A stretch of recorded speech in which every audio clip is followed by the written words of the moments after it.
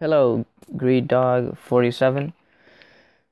So in this video, I'll be answering the questions you asked in another in the video, the quick review of that little iPod Shuffle clone I got from eBay. So one of the questions was, how do you charge it? Well, you use a USB mini type plug. I get it to focus. There you go. There you go. That's what you use. The little iPod shuffle. It's got an input right there. So now all we have to do is just plug them in. There you go. Now it does have a not notification light showing you that it's on.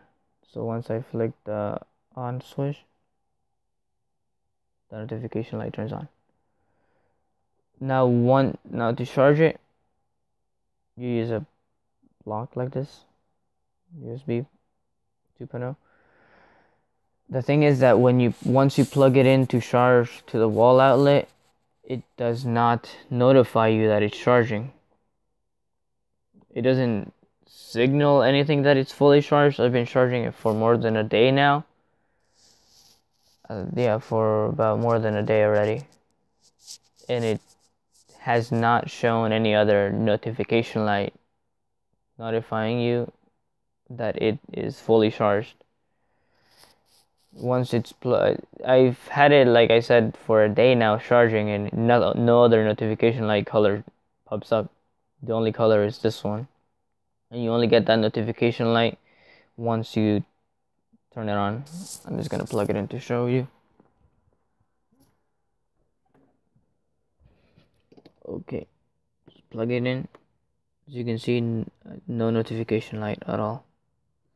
It turns on once you turn the iPod shuffle clone on but other than that no notification light shows. I'm not really sure how long you charge it. I don't remember getting a manual with it once I got it, once it arrived. So I'm not really sure about the specifications as like the battery, how many milliamps the battery is, how long does it take to charge, and how long the charge lasts. So that is just basically trial and error, as I would say, probably in this case. Since you're not getting, you're not given the information to actually know or make an estimate as to how much you're supposed to expect from it. Uh, so that would be it. If you have any other questions, just feel free to ask. And as always, God bless.